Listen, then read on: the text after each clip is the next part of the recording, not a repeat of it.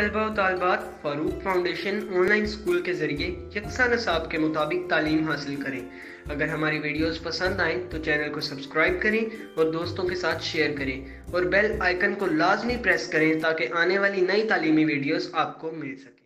Good morning student. Assalamu alaikum today I will tell you about the unit number 3 chapter name is human health. Now, students can you tell me what is the importance of health in our life सेहत की हमारी ज़िंदगी में क्या अहमियत है? Who is tell me बेटा kindly tell me what is the importance of health in human life in this chapter, this is, there are so many topics which is very much important for our lives. Look at the book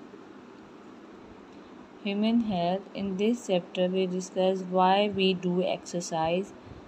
यानी हम exercise क्यों करते हैं? What is the importance of pure water साफ़ पानी की हमारी ज़िंदगी में क्या अहमियत है? What kind of food should we eat to stay healthy हमें कौन सा ऐसा खाना खाना चाहिए जिससे हम सेहतमंद रह सकें? In the page number thirty three The topic is symptoms, transmission and prevention of communicable diseases. Symptoms बताए जाएँगे। कि कौन सी ऐसी अलामत हैं जिससे डिज़ीज़ से महफूज रहा जा सके? ट्रांसमिशन एंड प्रिवेंशन एक जो डिज़ीज़ है वो एक इंसान से दूसरे में कैसे मुंतकिल होती है? एंड प्रिवेंशन और इससे कैसे बीमारी से बचा जा सके। कम्युनिकेबल डिज़ीज़ कौन सी होती हैं? कम्युनिकेबल वो डिज़ीज़ होती हैं जो एक इंसान से दूसरे में जा सकती हैं। अब इसमें देखें the human body temperature is 98.6 degree Fahrenheit human body का जो टेम्परेचर है वो 98.6 डिग्री फ़ारेनहाइट है और 37 degree Celsius normal body temperature इसको अंडरलाइन कर लें बेटा 98.6 डिग्री फ़ारेनहाइट जो है, वो नॉर्मल बॉडी टेम्परेचर है। Fever is not a disease but a symptom of disease बुखार जो है, वो एक अलामत है बीमारी की। The human body temperature is measured in Fahrenheit degree yellow box में देखें। फ़ॉरन हाइट में मैयर किया जाता है temperature human body temperature is measured by thermometer और किससे मैयर किया जाता है? थर्मामीटर से। थर्मामीटर की स्पेलिंग देख लें। T H E R M O M E T E R ठीक है?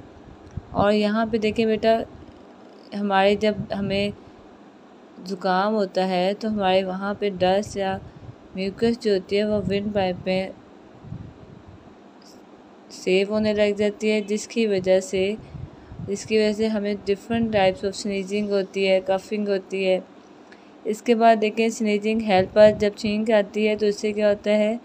वायरस यानी जो हमारे नोज़ के ज़रिए जो वायरस अंदर गए हैं, वो क्या होते हैं? रिमूव हो जाते हैं। Now the topic is contagious disease contagious disease क्या होते हैं? If any of your class fellows अगर आपके क्लास फेलो में से किसी को भी ज़ुकाम है तो टीचर आपको कहेंगे कि आप घर में रेस्ट करें। इसकी वजह क्या है कि ये जो डिज़ीज़ होती हैं कॉन्टेजियस ये एक ट्रांसफ़र हो जाती है एक इंसान से दूसरे में। ये हमारा पेज नंबर थर्टी थ्री है। फ़र्स्ट पेज में देखें मदर जो है फीवर चेक कर रहे हैं। सेकंड में देखें फ्लू है। और थर्ड में देखें कफ यानी कि खांसी आ रही है।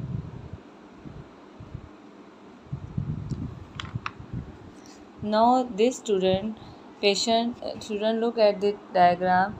This patient is a polio patient. Polio patient जो होते हैं बेटा, उनमें क्या है कि बोन्स में इफ़ेक्ट करते हैं पोलियो पेशेंट की, ठीक है? अब पोलियो इज़ कॉज पोलियो कैसे होता है? बाय पर्टिकुलर जर्म कैसे होता है? Germ called virus this virus remains present in the throat और ये कहाँ पे रहता है?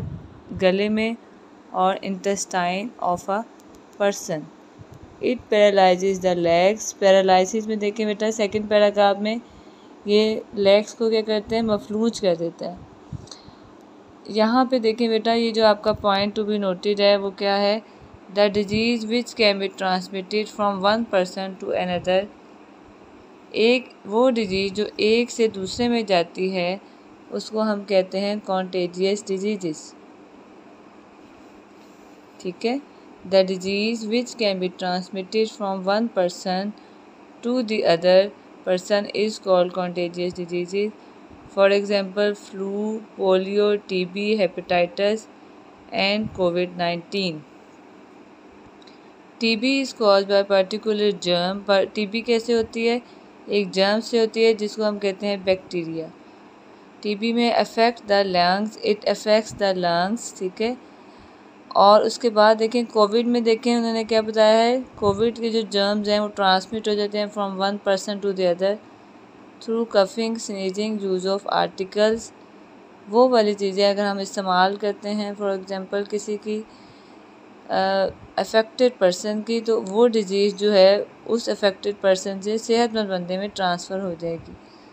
The inflammatory condition of the liver is called hepatitis hepatitis में क्या होता है कि जो लीवर होता है, उसमें सूज जाता है वो, ठीक है? अब उसमें क्या होता है the germs of this disease are transmitted through polluted water और वो जर्म्स कहाँ से जाते हैं? पोल्यूटेड वाटर से जाते हैं फ़ूड और ब्लड से।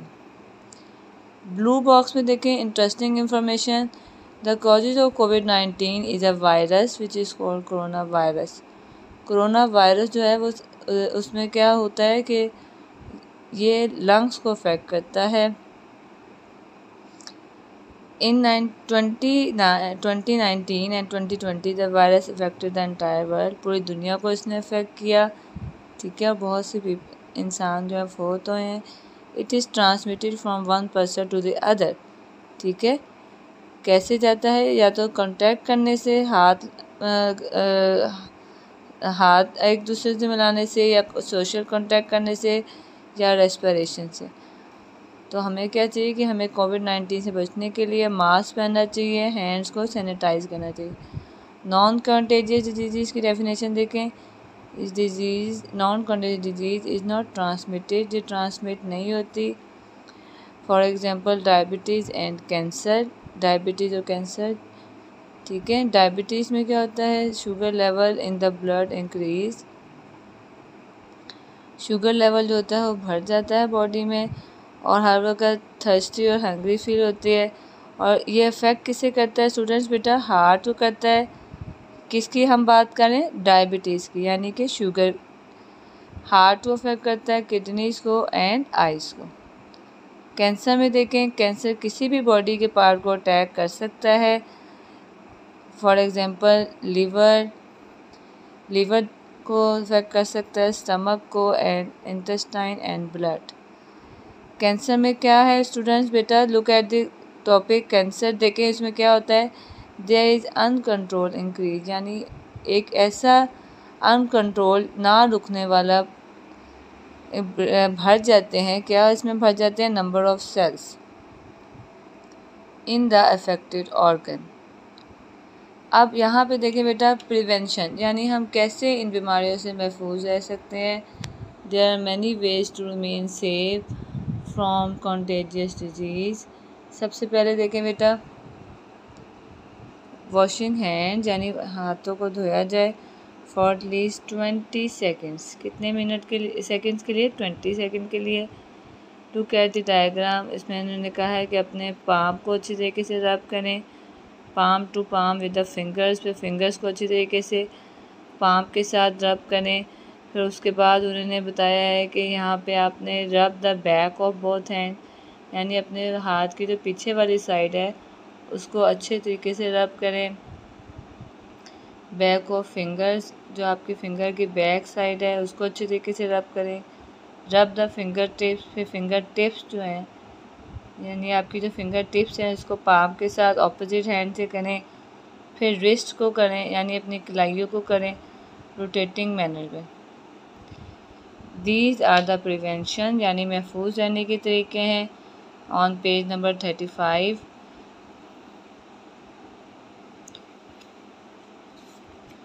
और इसके अलावा शौकत खानम हॉस्पिटल है, जहाँ पे ये आपका कैंसर पेशेंट का इलाज होता है बैतुलसकून है और लाहौर में जो और एक हॉस्पिटल है, उसका क्या नाम है? इनमोल, जहाँ पे कैंसर पेशेंट का ट्रीटमेंट होता है।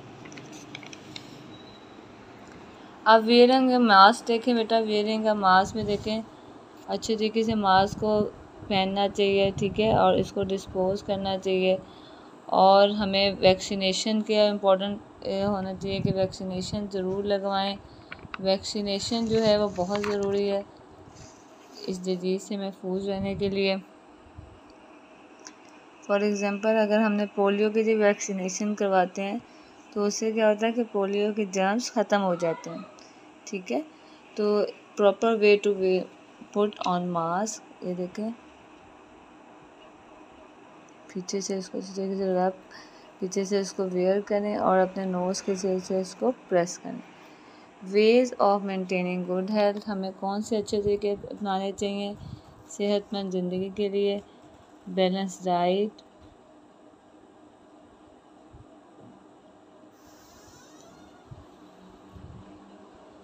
drinking clean water number three exercise number four brushing teeth number five getting enough sleep balance diet में देखें बेटा यानी हमें ऐसा खाना खाना चाहिए जिसमें मिल्क भी हो सीरियल भी हो मीट भी हो और वेजिटेबल भी हो।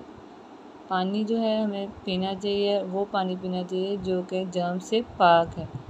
और कोशिश करनी चाहिए कि बॉयल वाटर पिए या फ़िल्टर वाटर पिए। एक्सरसाइज एक्सरसाइज ज़रूर करनी चाहिए। फॉर एग्ज़ाम्पल वॉकिंग करनी चाहिए running and playing brushing teeth दांत साफ़ करने चाहिए, दिन में दो दफ़ा, ठीक है?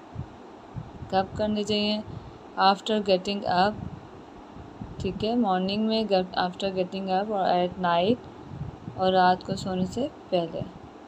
अच्छे तरीके से इनफ स्लीप लेनी चाहिए eight to ten hours a day next topic जो बेटा है, वो आपने याद रखना है कि बैलेंस डाइट जो होते हैं, उसके कंपोनेंट्स क्या हैं? बैलेंस डाइट में देखें सबसे पहले देखें मिल्क ग्रुप है includes milk and things made of of milk for example butter cheese yogurt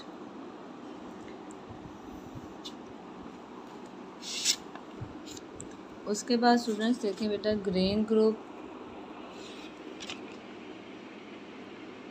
it includes wheat rice barley millet maize and pulses meat group में देखें beef, mutton, chicken and eggs.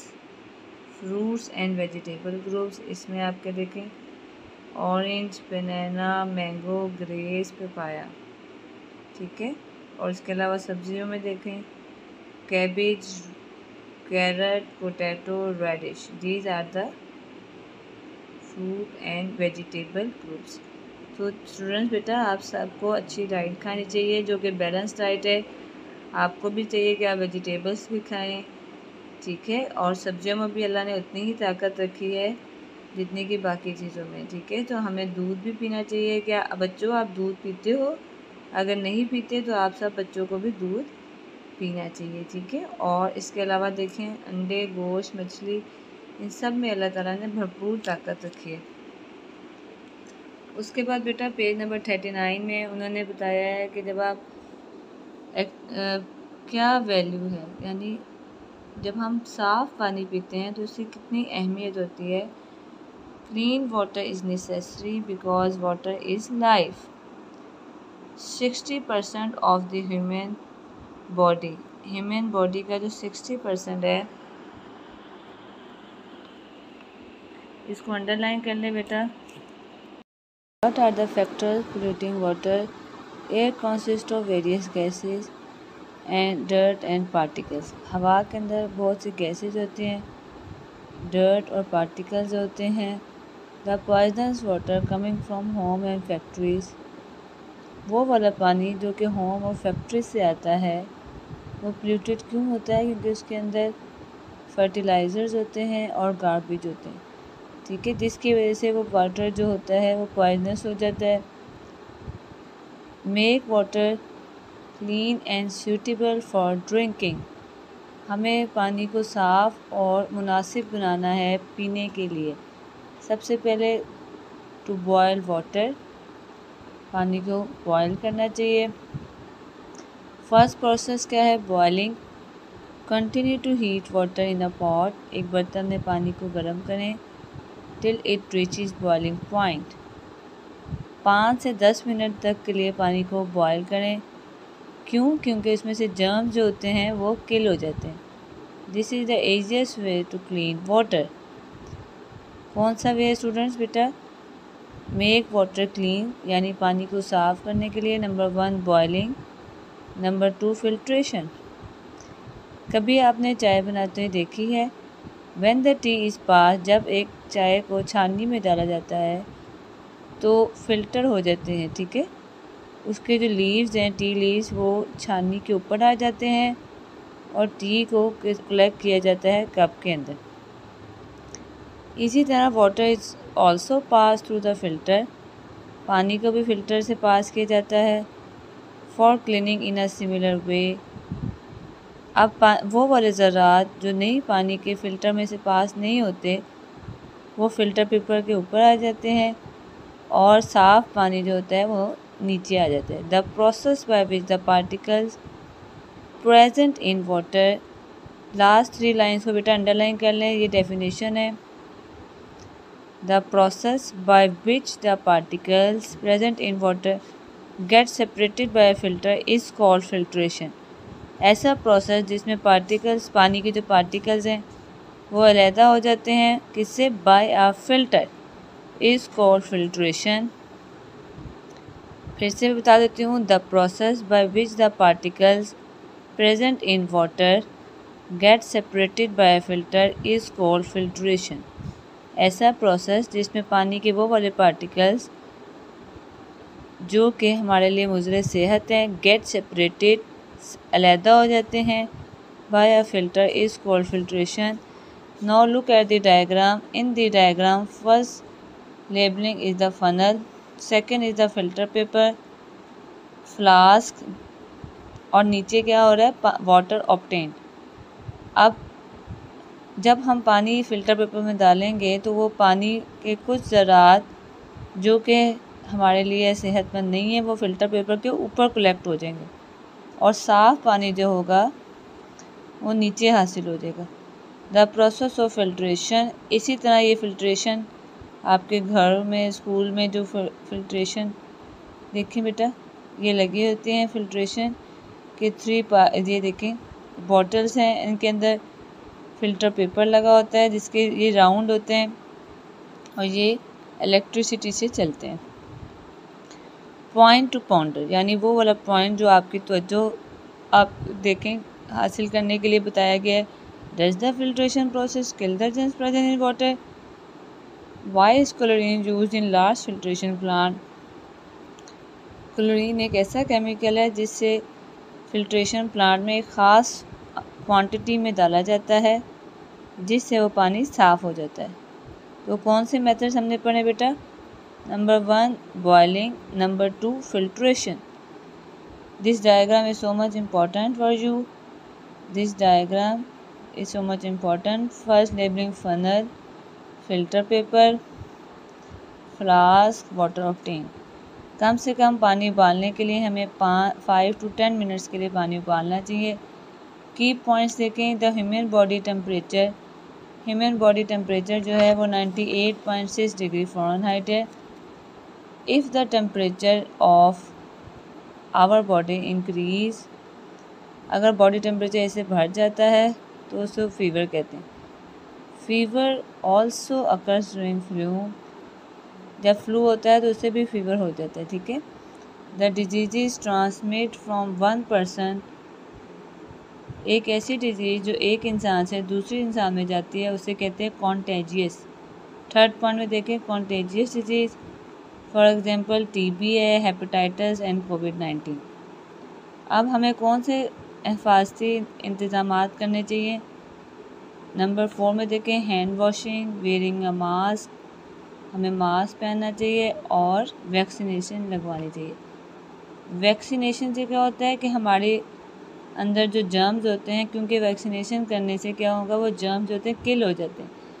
इसकी वजह से हमें कम chances है कि हमें कोविड नाइन्टीन हो। फॉर एग्ज़ाम्पल अगर आपने अर्ली एज में देखें, पोलियो की वैक्सीन लगती हैं मीज़ल्स की लगती हैं they are so much beneficial ये हमारे लिए बहुत इम्पोर्टेंट है। दो बच्चों, आप सबको चाहिए कि हम जब वैक्सीनेशन के बारे में आगाही दें, ठीक है? कि हमें वैक्सीनेशन छोटे बच्चों को अब टू सिक्स ईयर्स तक लगवानी चाहिए। एक ऐसी diet the diet having proper proportion of food component एक ऐसी डाइट जिसमें कम फ़ूड के तमाम अज्जा शामिल हैं, उसे हम कहते हैं बैलेंस डाइट बैलेंस डाइट के साथ साथ हमें पानी पीना चाहिए। और कौन सी अच्छी एक्टिविटीज़ हैं? ब्रशिंग करनी चाहिए, अच्छे तरीके से नींद पूरी करनी चाहिए और एक्सरसाइज भी करनी चाहिए। Are necessary for good health. कौन कौन सी? Balance diet, drinking clean water, exercise, brushing teeth, deep sleep are necessary for good health. Key points में बेटा एट पॉइंट देखें food has been divided into four groups food को divide किया जाता है four groups में। उन फोर ग्रुप्स का क्या नाम है? फ़र्स्ट में देखें मिल्क नंबर टू ग्रीन यानी वो वाला ग्रुप जो कि दालों का है। Number three meat number four fruit and vegetable ठीक है? चार ग्रुप कौन से हैं? Milk green meat fruits and vegetable ninth key point देखें बेटा, वो क्या है? There are germs in polluted water पानी के अंदर जरासीम होते हैं which cause disease number ten में देखें, अगर हम ये टू मेथड्स करेंगे तो इससे पानी साफ़ हो जाएगा और पीने के लिए सूटेबल हो जाएगा। Boiling of water and filtration are the two methods of cleaning water now student our chapter number three human health is now finish now you must learn the definition of contagious diseases how many groups कितने groups हैं you must learn what is the temperature of normal human body temperature human normal human body temperature क्या होता है आप सब बच्चों ने याद करना है इसके अलावा स्पेलिंग देख लें हेपेटाइटिस टीबी पोलियो कॉन्टेजिया ये स्पेलिंग ज़रूर याद रखने अपना ख्याल रखेगा अल्लाह हाफिज़।